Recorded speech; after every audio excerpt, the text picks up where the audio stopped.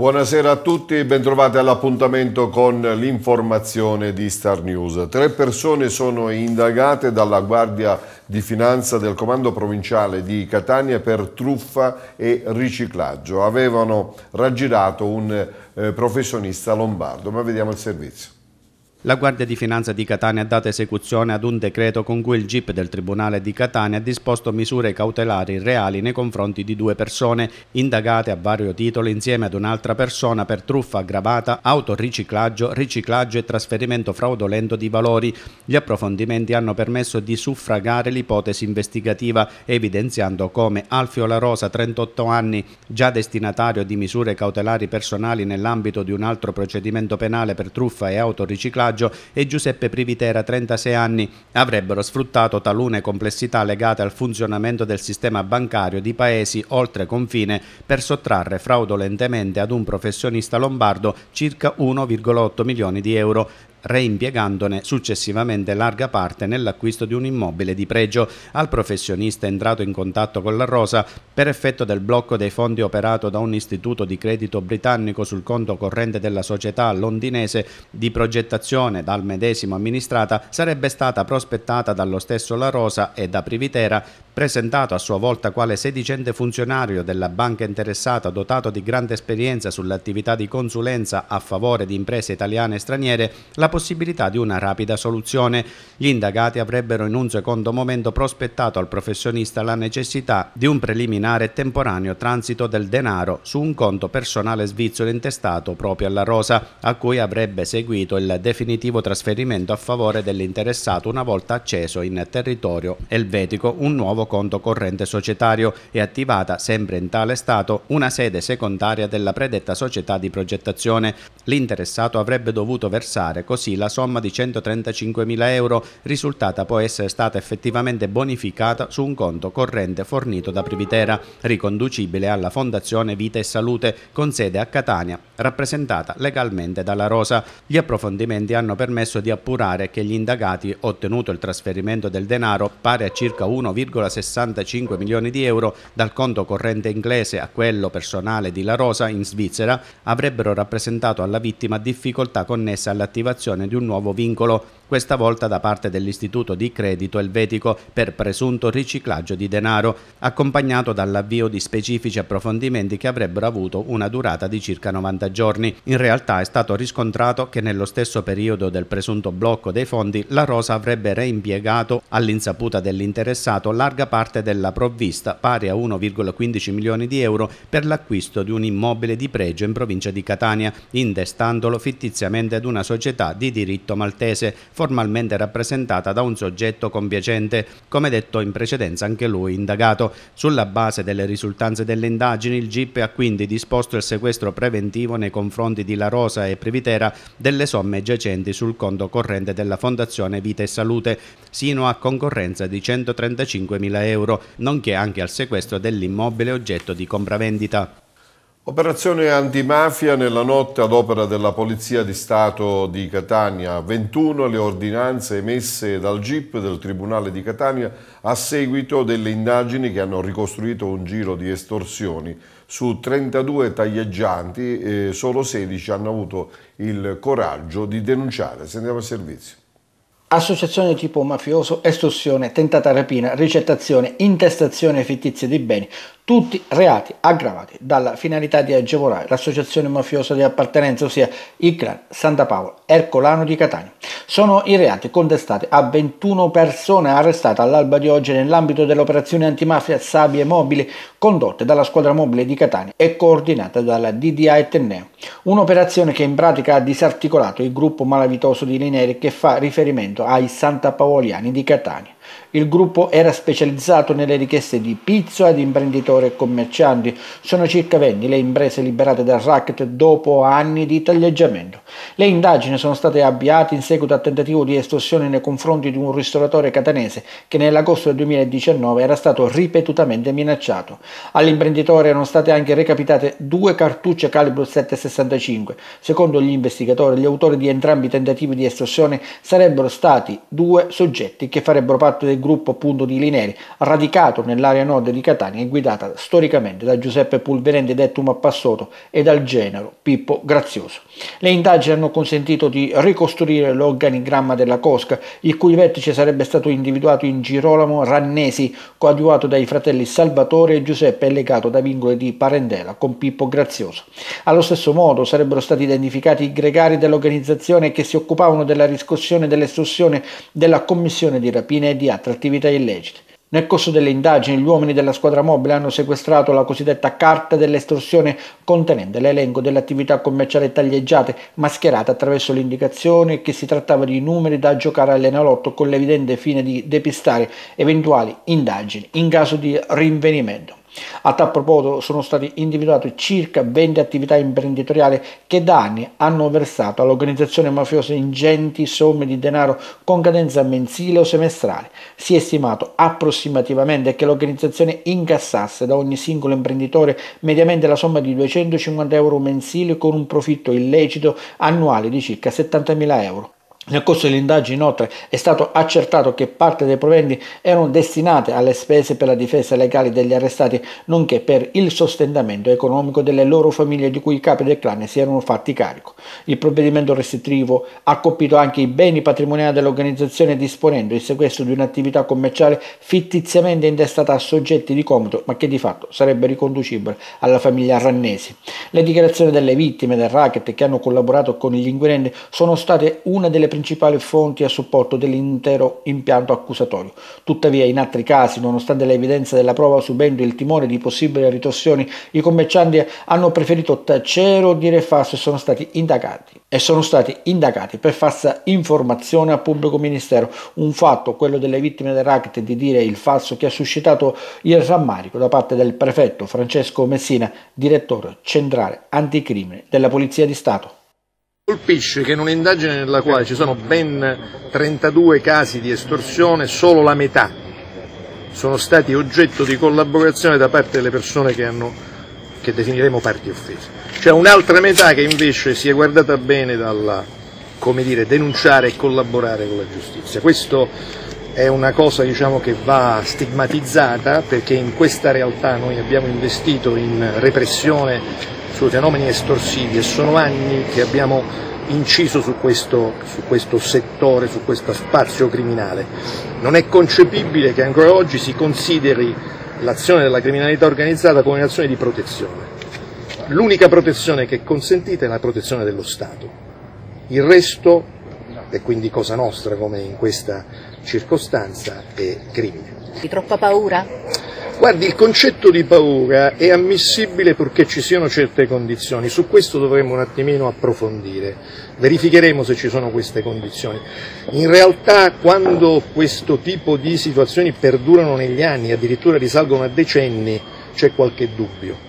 Gli incidenti stradali si sono registrati negli stessi minuti nel comprensorio etneo, fra eh, tre le persone rimaste ferite e trasportate negli ospedali. Vediamo.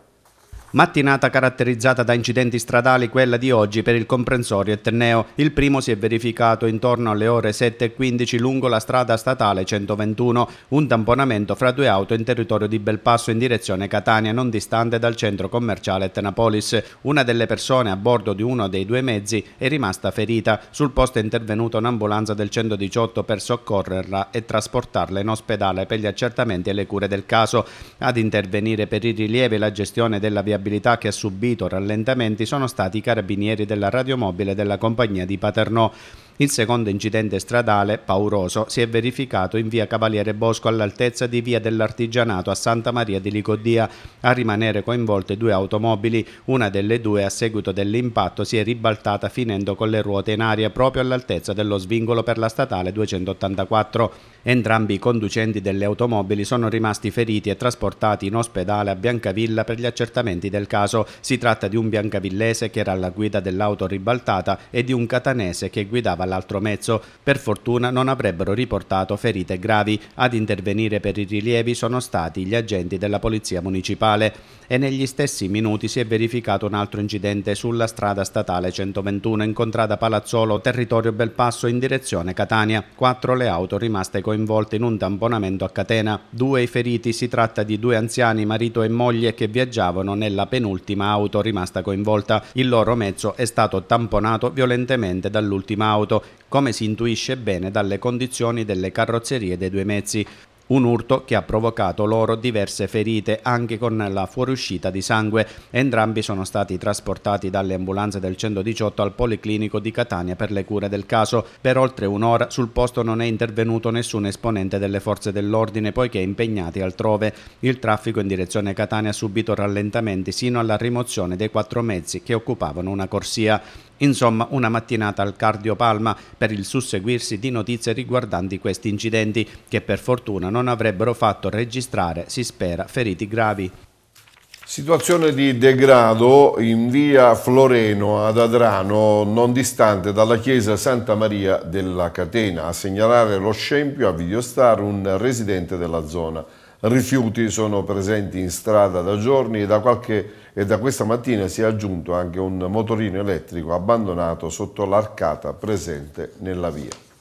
E segnalazioni a Videostar in merito allo stato di degrado in cui versa il mando stradale di via del Bottaio a Biancavilla. L'arteria che conduce fino alla chiesetta di Badalato è in condizioni pessime, soprattutto nelle ore serali. Le buche presenti sull'asfalto sono scarsamente visibili, creando ancor più disagi e pericoli ai mezzi in transito. I residenti della zona, che definiscono Via del Bottaio come un formaggio svizzero, chiedono un intervento dell'amministrazione comunale affinché possa riportare le condizioni di sicurezza lungo la via in questione.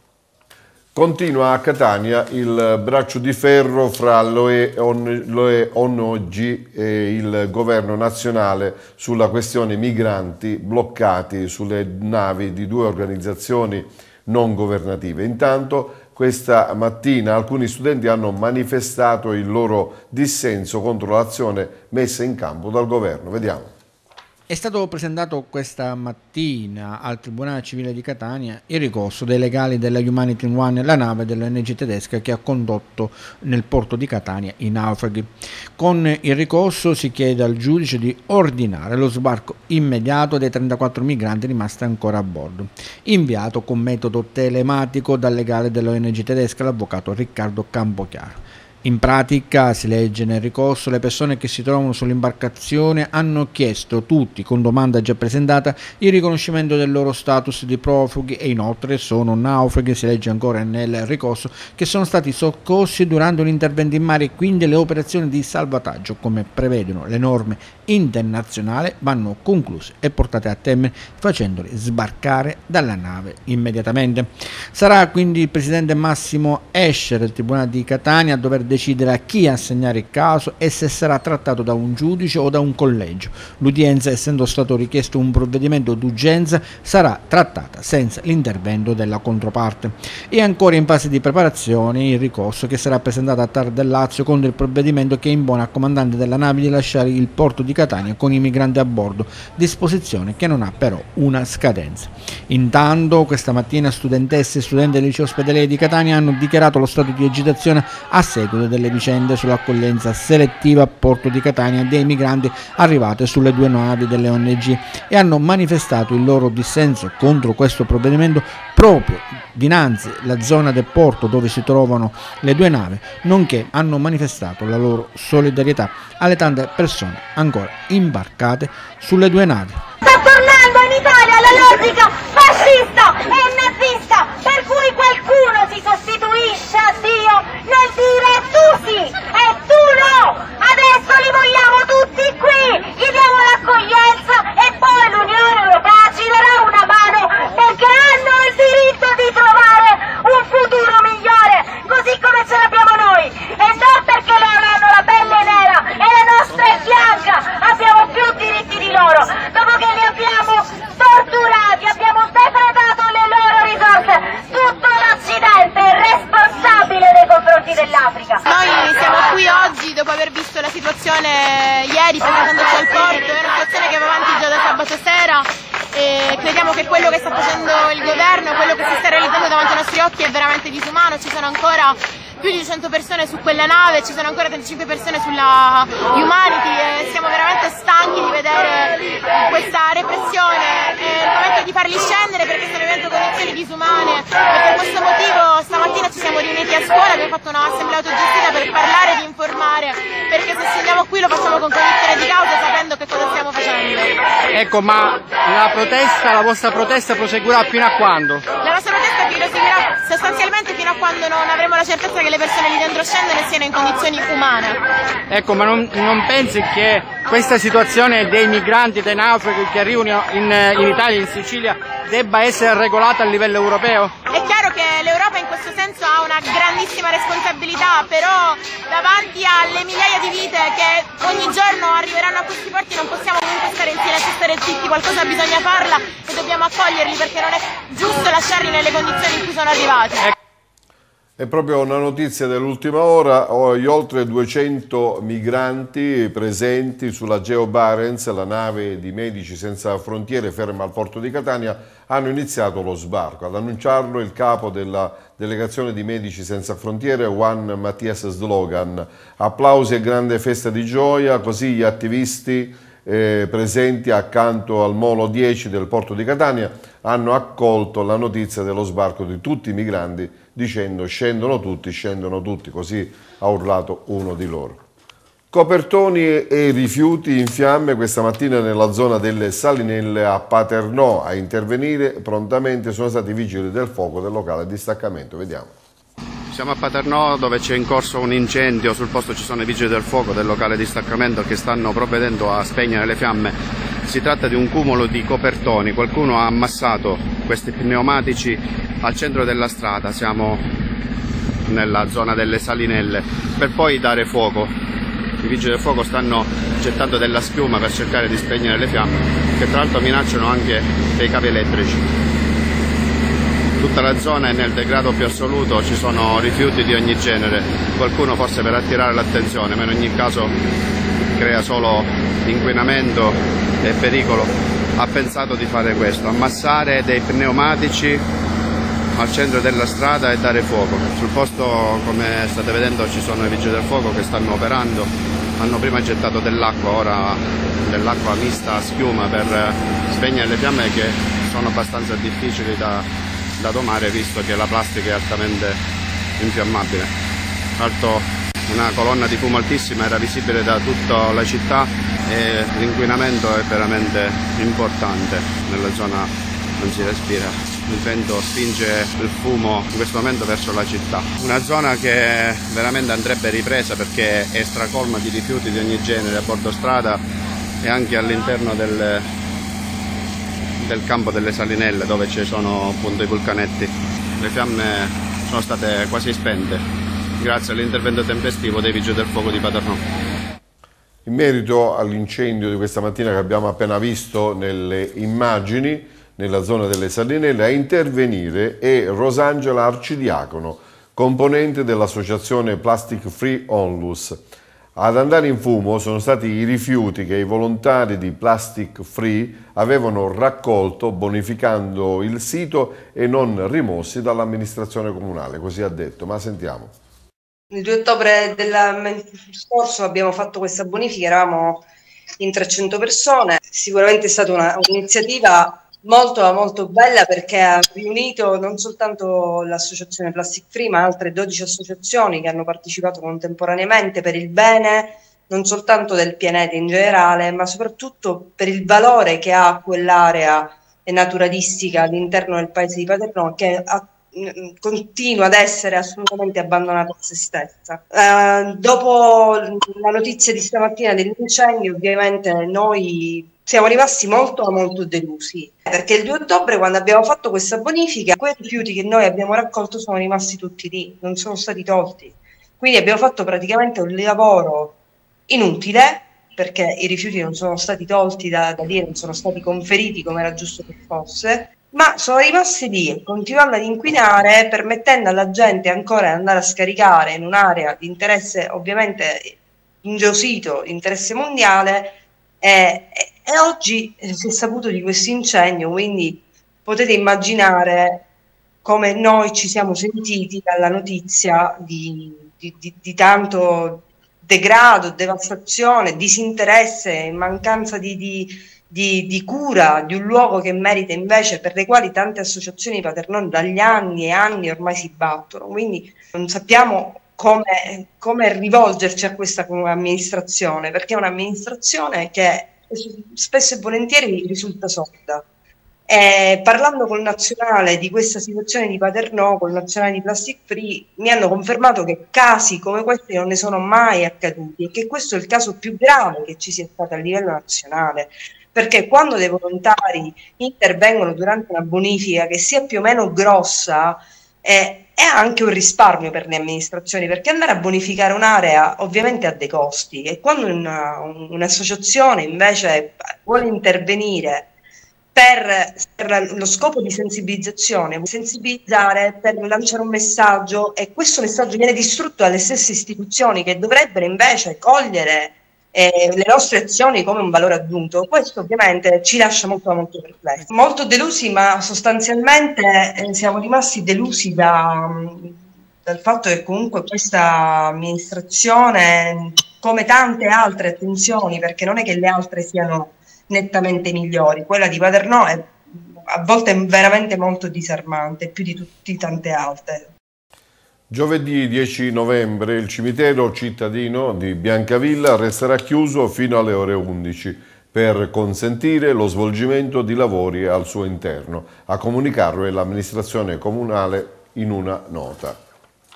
Domani alle 19 eh, nella chiesa Sacratissimo Cuore di Gesù a Biancavilla si terrà una veglia di preghiera per le vocazioni presieduta da Don Salvatore Cubito, prorettore del seminario interdiocesano di Catania e di Nicosia, con la partecipazione dei seminaristi e dei gruppi giovanili del vicariato. Il momento di spiritualità di domani sarà in preparazione alla celebrazione di venerdì pomeriggio che vedrà la tumulazione della salma in chiesa del primo parroco e fondatore Don Salvatore Greco. Bene amici, questa era l'ultima delle notizie di questa edizione di Star News. Io ovviamente vi rimando alle prossime edizioni e auguro a tutti voi una buona serata.